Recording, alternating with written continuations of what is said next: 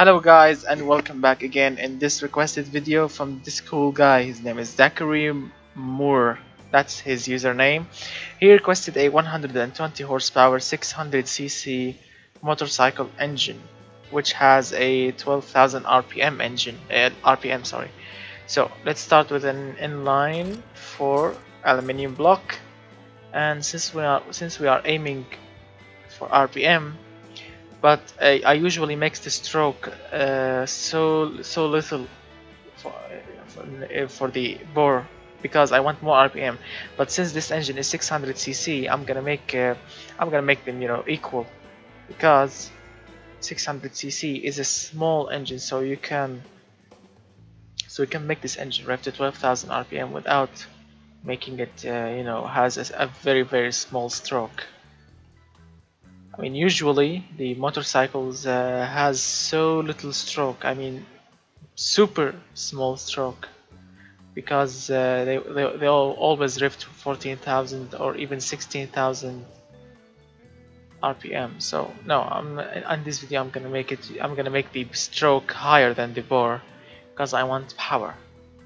So to dual overhead camshaft, 5 valves per cylinder, aluminum cylinder head, Let's go with forged steel, lightweight forged, lightweight forged pistons, plus 10. Because motorcycle engines are usually built by Yamaha or Ducati or Kawasaki or Suzuki and all these engines are very very good and reliable and I mean they live forever if you of course take care of them. Of course, as we all know, bike engines usually have uh, you know super super high compression ratios. So let's start with 12 and since we are aiming for 12,000 rpm I'm gonna make a big camshaft profile and VVT for all cams plus 10 naturally aspirated direct injection throttle per cylinder performance. I'm racing is good but uh, bikes has uh, air filters so I'm gonna stick with the performance 95 13.7 lower the ignition timing a little bit. Go for 12,000 plus 10 long. I don't know. Let's stick with the three-way. Straight through and none. Or like that. Because usually the bikes has the mufflers on the end not on the start Right. Let's see. Right, so 83 horsepower. Let's play with the ignition timing. As you can see, it's a crappy power band so far. No. 12.5 to 1.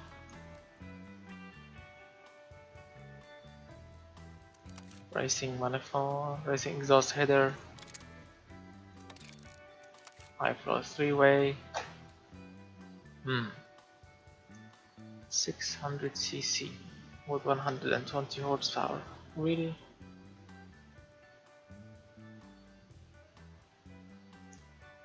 Let's try and make and play with the bore and stroke a little bit. I want to make the bore big and stroke small, I will gain more RPM. But how about if I make the bore the smallest, the smallest thing ever and the stroke the highest thing? What kind of horsepower we will get? No, we will go below 12,000. So let's stick to 65 and go higher from there. So 93 horsepower with a shitty power band. Mm -hmm. alright increase the quality of the pistons and increase the bore increase the stroke. Right like that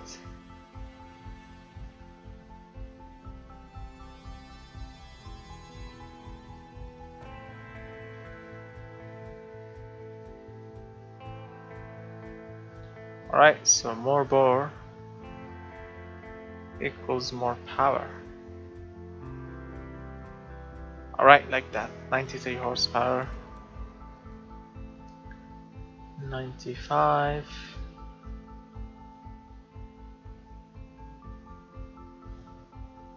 12.8 to 1 compression ratio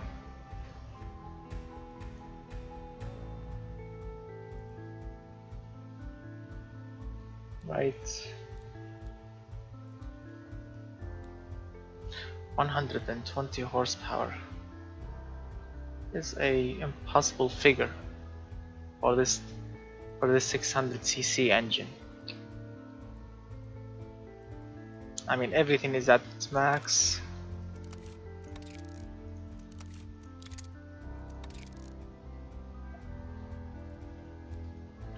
I mean even if I let's use 98 even if I bump the the compression ratio 13.7 97 horsepower only. Let's hear this beast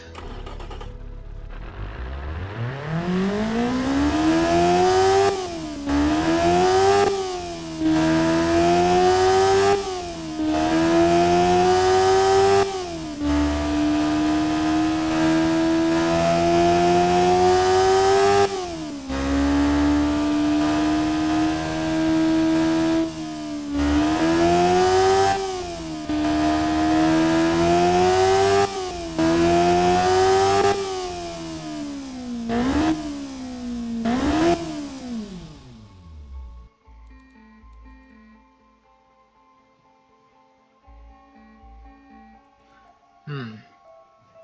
What should we do? Inject more fuel in. Bump the compression ratio. More fuel. 98 horsepower. Racing manifold. I mean the I mean look the reliability has dropped significantly. 99 horsepower. I mean, even if I inject more fuel in,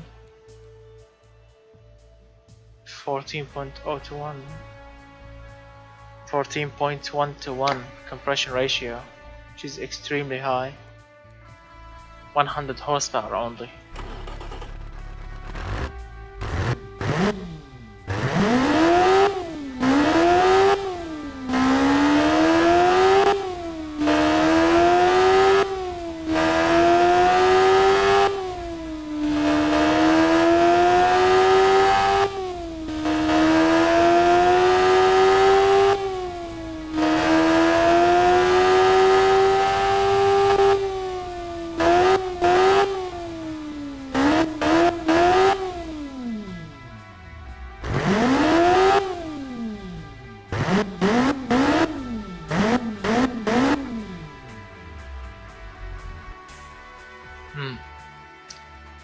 This engine is somehow crazy.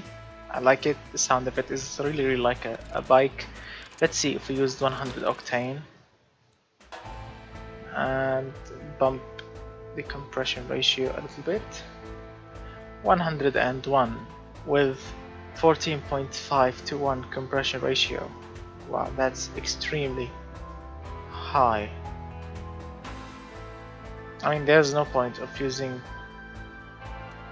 titanium or billet steel. I mean, you can make the engine lighter, yes, and you can make it smoother,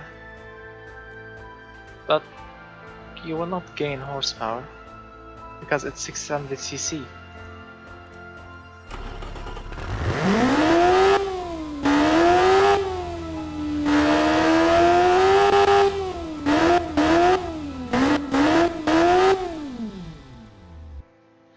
Get back to forged. This forged are cool. Alright, so this is it 600cc but not 100 one, not 120 horsepower.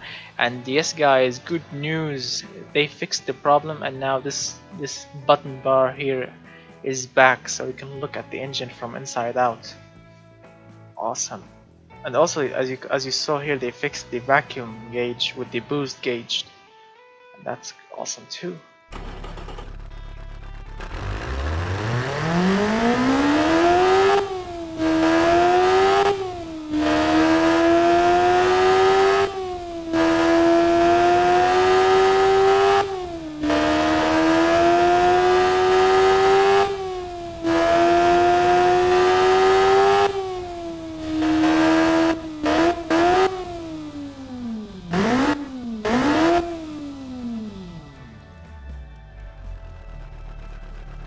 Alright guys, so this is it. The bike 600cc engine, but unfortunately uh, the request was at 120 horsepower, but this engine could not make more than 101 horsepower for, for its 600cc size.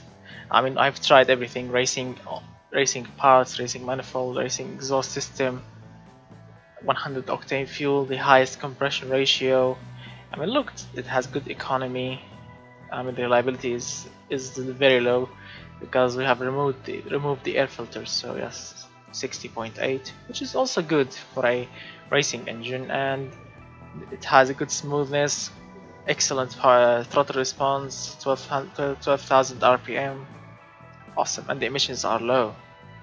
So I'm gonna call it 600 cc 101 horsepower racing Uh, and I'm calling it 4 4 cylinder DFI and NA developer camshaft VVT. Alright, so I hope you guys, really guys enjoyed this video. If you enjoyed it, please please remember to hit that like button and uh, if you are not, not a subscriber, please hit that subscribe button to to see more cool videos like this one and uh, some of you guys are missing all the new videos that I always uh, post on YouTube. If you want to keep keep notified of the new videos that I post on YouTube please uh, hit that uh, ringing bell button whatever they call it so you can have a notif notification whenever I post a new video on YouTube. Thank you so much guys for watching. I will see you in the next video and bye bye